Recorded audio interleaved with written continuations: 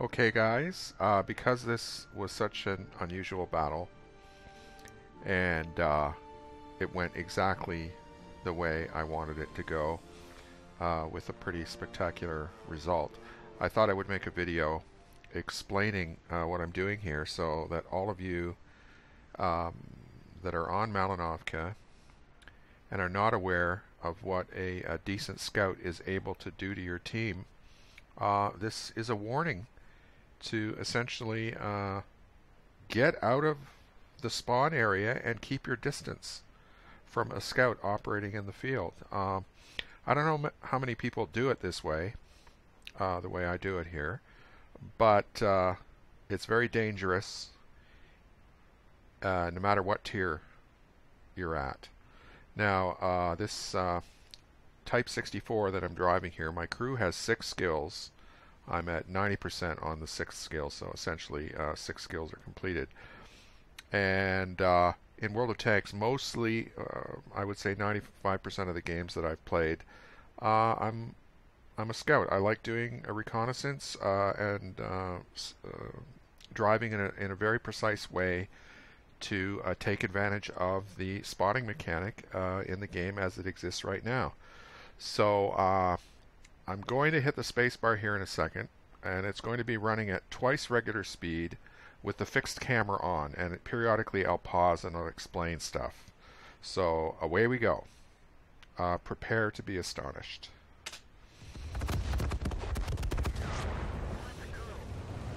Okay, so I go out in the field. I'm checking to see how our people are deployed. That's why I looked back. I light people up. I've not been lit, right? You veer off the moment you get the lights. And since I wasn't lit, I can go back. Still not lit. Lighting people up. And I want to check both flanks. So I go over here. Looking for that STRV. Didn't find him. Still not lit. There he is. So I lit him up. Now I go back to the other side to light those people up. Keeping my distance. Still not seen by anyone. Light those guys up. Then light up the STRV again, and I didn't get him. Still not seen. There, I've finally been seen, and the moment you're seen, you maneuver violently to get as far away from them as possible and not get hit. So let's watch that, and they start shooting at me. The arty shells are landing. Uh, with 9.18, with the gigantic splash radius, you have to drive even more crazily in a scout tank than you normally would. Now, uh, the MT25 on my other account has been ruined, but the Type 64 can still, uh, if you can maintain your velocity and drive crazy, you should be able to avoid being hit. Okay, so I got to go back here. The E25 just fell in the water there, and he's going to uh, die. Now I got to get rid of this STRV. He's out of the way. Now I go back to this flank, get the OHO again. And all this time I'm waiting for uh, my sixth sense to go off, right? Now there's a Ferdy and a KV2. There's the KV2. AT7 way back there. And you'll see I'm, I'm only approaching close enough to get the light and I, I veer off, right? And I veer off again. The KV2 and Ferdy are not currently lit. And this is a mistake. I shouldn't have stopped there. And watch the shells landing all around. There's the KV2 missed. Shouldn't have done that. Greedy for a kill. Go back, relight those guys. Nothing, nothing. Okay, work on the KV2, and he's reloaded by now. This is twice normal speed. There's his shell missed. And you'll see uh, I'm, I'm constantly looking around, right? That's really the only way to do it. Now, the KV2 is still alive. AT7 is headed for the lake. KV2 still not dead. I watch. AT7. KV2. Still alive? Come on, people. There, he's gone. Now, uh, there's three arty in this battle. I love that. Uh, it speeds things along uh, with with the 9.18 um, uh, update.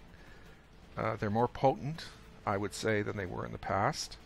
It's different now because their rate of fire is faster. They do more damage per shot. Uh, excuse me, they do less damage per shot. And at this stage of the battle, uh, you can see in the corner down there, uh, I've got 7,000 spotting damage, and because the KV-2 is out of the way, I'm going to pile on the pressure to try to get the rest of it. So let's just watch that.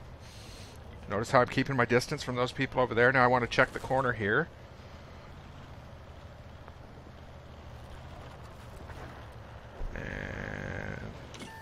There's the M18. Now this is my only mistake. I should have driven even more erratically there. I got hit by the M44 but because I have the spall liner, uh, for those of you that uh, those of you that don't know this, um, the stun period is reduced if you have the spall liner.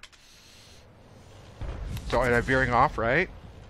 Wait for the lights to go out, then uh, do a different, use a different path using cover.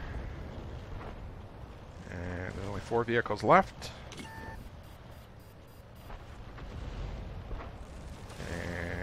There's one arty. The M4A1 is about to die. Boom, he's gone.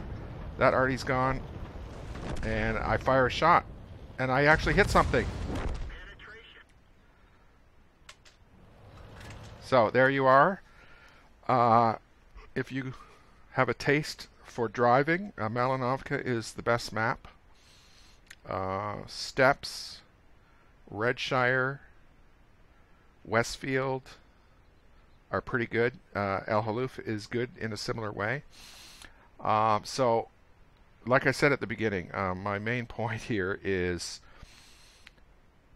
if you stay near the spawn on this map, uh, or even see if you look down in the corner there, see where our IS2, my team's IS2 is, in the E25. That's even untenable. Uh, my recommendation is that uh, you have to consider that uh, it's much better to uh, take the hill and stay on that reverse slope on the 9 line. And then uh, it would be difficult for me to do what I was doing there. Um, but on the other hand, you know, the, in in battles, uh, you just don't know what what the scout is going to do on this map. It's uh, you can win and lose the battle essentially in the first uh, you know 90 seconds in many cases it's essentially all over and it's too late to fix it. Now. I used to think that that was wrong, that there, there shouldn't be a map like that, but on the other hand, uh, people who are learning this game have to be aware of the dangers and this map uh, gives you it's like a cold shower you know uh, wake up and smell the coffee.